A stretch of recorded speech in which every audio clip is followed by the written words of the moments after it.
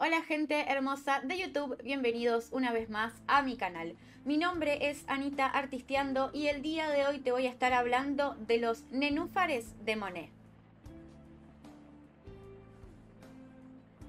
Es muy probable que te hayas encontrado alguna de estas obras en el transcurso de tu vida, ya que es de las más icónicas del artista impresionista Claude Monet, del cual tengo un video que subí hace unos días, así que te lo dejo acá arriba en la que está en pantalla y en la cajita de descripción para que lo vayas a ver.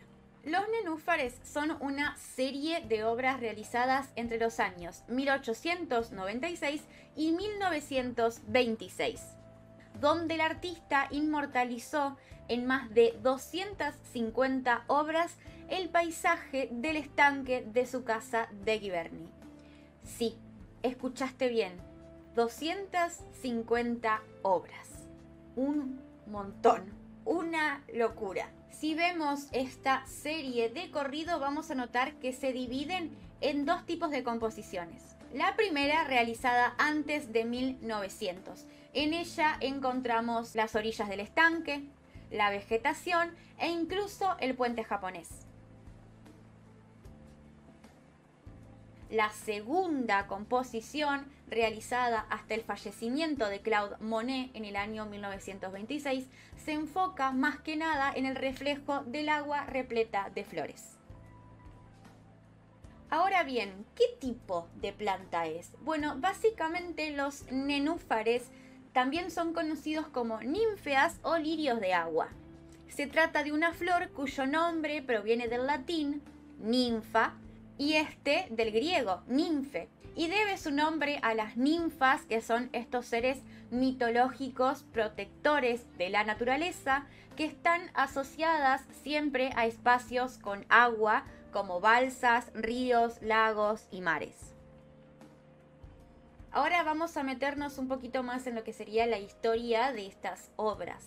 Monet se instala en Giverny en el año 1883 y su jardín se vuelve su lugar más preciado de la casa, convirtiendo la jardinería en un hobby.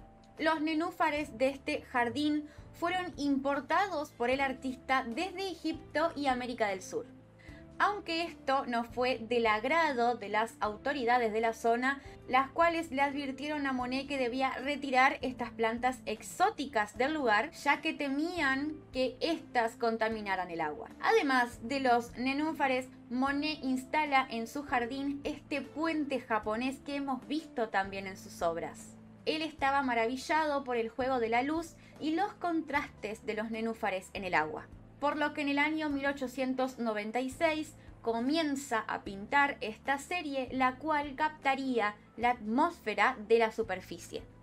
Con el pasar de los años, sus pinceladas se hicieron todavía más sueltas y libres, acercándose así a la pintura abstracta. Esto debido a la eliminación de la línea y la vaporización de los contornos. Además de esto, el artista también investigó las posibilidades pictóricas de las variaciones del color de un mismo tema, dependiendo de las horas del día o de las estaciones del año. En el año 1912, a sus 72 años, Monet es diagnosticado con cataratas. El avance de la enfermedad se ve perfectamente reflejado en la serie de los nenúfares. La pérdida de la visión le impedía a Monet ver bien los matices o los tonos. Es por ello que los cuadros comienzan a verse cada vez más oscuros. Y ni hablar de la pincelada, la cual se empieza a ver cada vez más suelta. Diez años después, es decir, en 1922, Monet es operado de su ojo derecho. A pesar de que su visión mejoró muchísimo luego de la operación, él se siguió negando hasta el último día de su vida a tocar, a operarse el ojo izquierdo. El oftalmólogo Jacques Maguas dice que Monet, luego de su operación, le expresó: Veo el azul, no veo el rojo, amarillo, un verde especial, un tipo de violeta. Y ahora no los veo como los veía, pero sin embargo, me acuerdo muy bien las tonalidades que obtenía. Esto de que él veía el azul pero no veía otros colores se ve reflejado en algunas de sus obras como por ejemplo la que estamos viendo en pantalla. En el año 1914, luego de la muerte de su hijo, Claude Monet comenzó a desarrollar el proyecto de los lienzos monumentales creados para una sala circular o elíptica para producir la ilusión de estar sumergido en aquellas escenas sin horizonte ni orilla, y esperaba que aquel efecto se tradujese en un refugio para la meditación y la paz.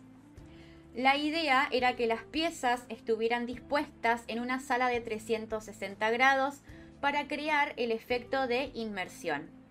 Para 1918, avecinándose el fin de la guerra y luego de que se firmara el armisticio el 11 de noviembre del mismo año, Monet quiso celebrarlo donando al Estado francés una selección de ocho lienzos de esta serie de gran formato que les acabo de mencionar, siendo esta concebida como un monumento a la paz. Aunque la idea no nació de Monet, sino de su amigo el político Charles Clemenceau, creo que se dice, perdón si lo pronuncié mal. Esta colección actualmente se encuentra en el Museo de la Orangerie.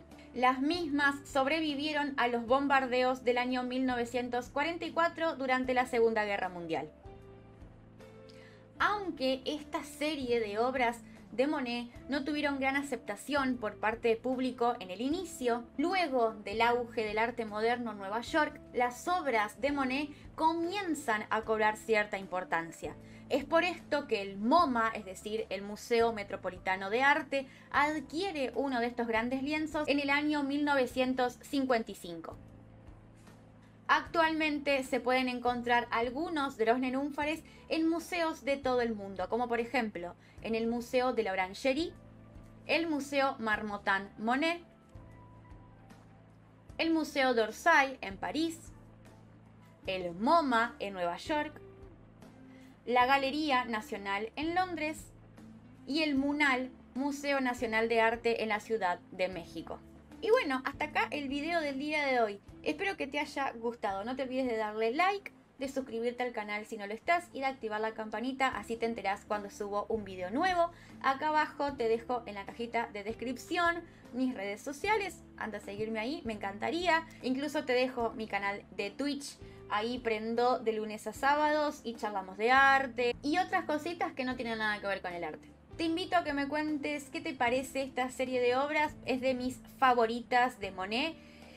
Aunque igual es difícil eh, elegir algo favorito de Monet porque siento que todas sus obras son increíbles. Como te dije al inicio del video, te dejo acá en la cajita de descripción el link del video hablando de la biografía de Claude Monet también, por si no lo viste. Y bueno, me dejo de blableríos. Te mando un beso enorme.